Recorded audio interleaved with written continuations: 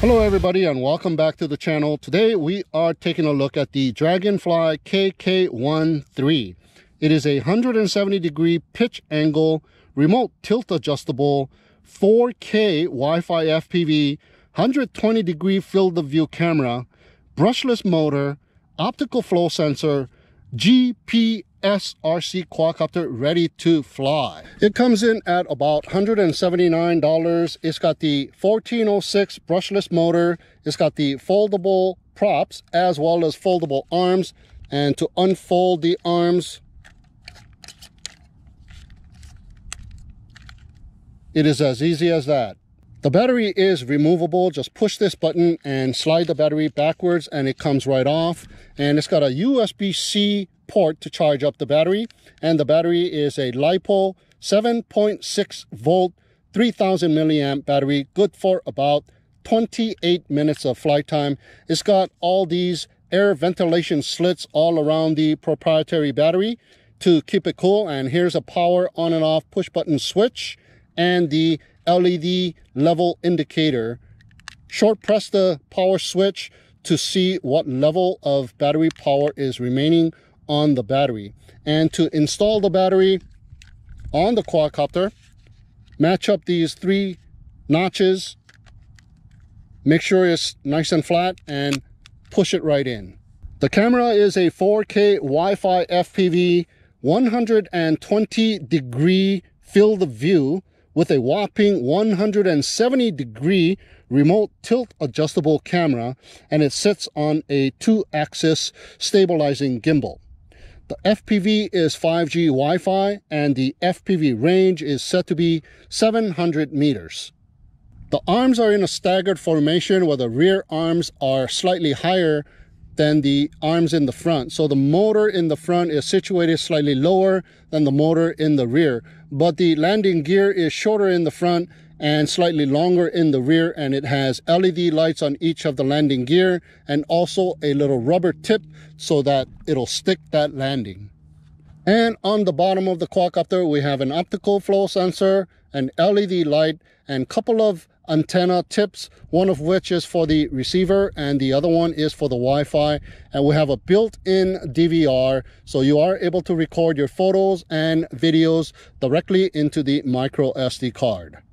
The quadcopter comes in this zippered carrying case where on the top lid there is a zippered pouch and on the bottom we have foam cutout so everything is well protected. In the bag we have a shoulder strap, we have a bag of goodies containing a full set of replacement props, a USB to USB-C charge cable to charge up the quadcopter battery and a USB to micro USB cable to charge up the remote control internal battery, bag of screws, a screwdriver, and couple of extra thumb grips for the remote control. We also have a user's manual in English and in Chinese and we have the operating instruction for the Wi-Fi phone app.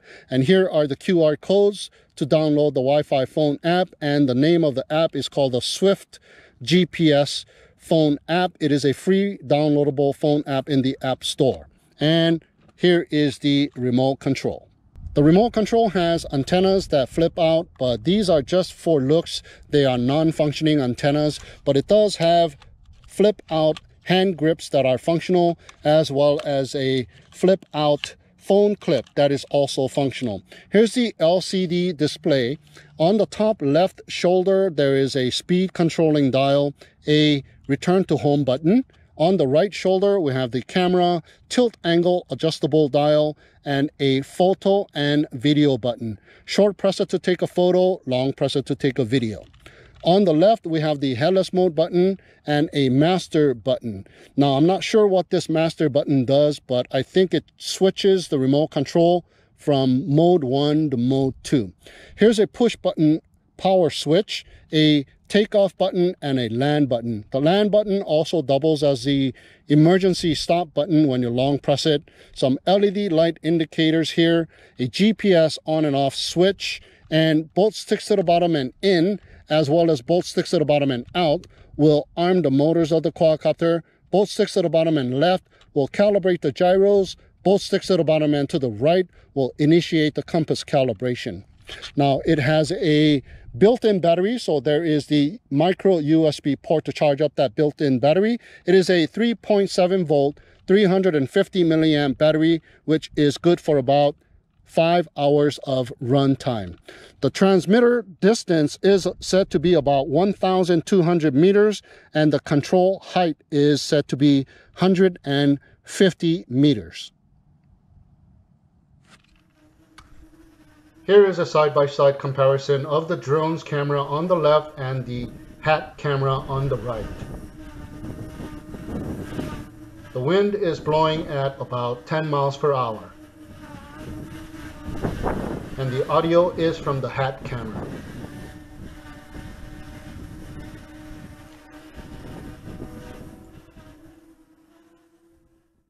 Now here are some photos recorded on the Wi-Fi phone app. The quality is 1280 by 720 pixels.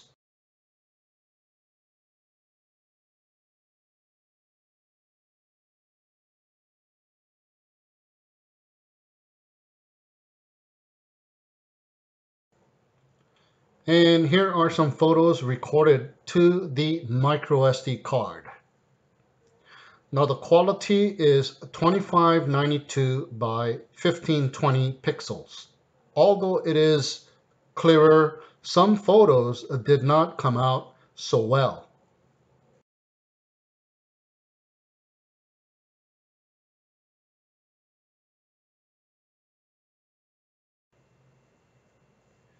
Now here is a video recorded on the Wi-Fi phone app. Notice right away the frame drops or some kind of misrecordings. Now the quality is 1280 by 720 pixels. Now there is also a battery sag issue when multiple turns are performed. Here it hits the ground by itself and comes back up. So there is definitely a battery sag issue. The camera, however, does have a cool 85 degree down tilt and it is remotely controllable.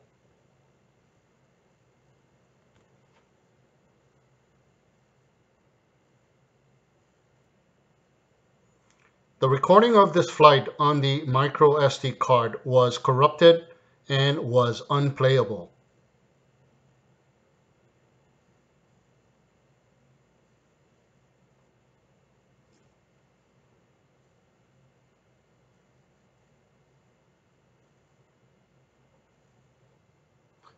Now here is a video recording recorded onto the micro SD card. Here I am syncing cameras. And as you can see, there's a lot of breakup and dropped frames. And the quality is just not good at all. Now here's the same video recording recorded onto the Wi-Fi phone app. It is a lot better and the quality of the 720p recorded onto the Wi-Fi phone app is decent, but it does have issues as well.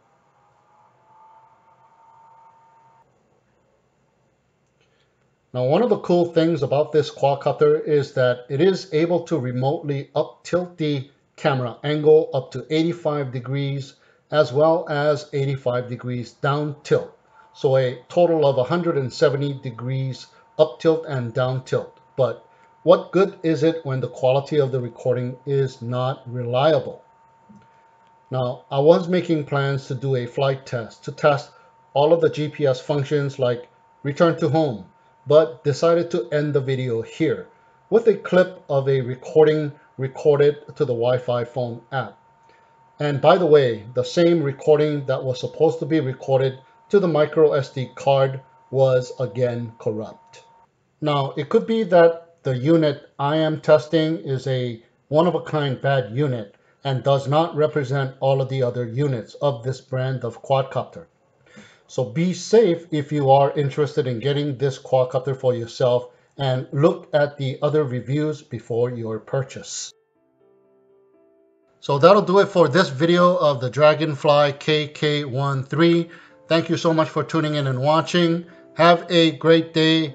Fly safe and be safe, everyone. And we'll see you again next time.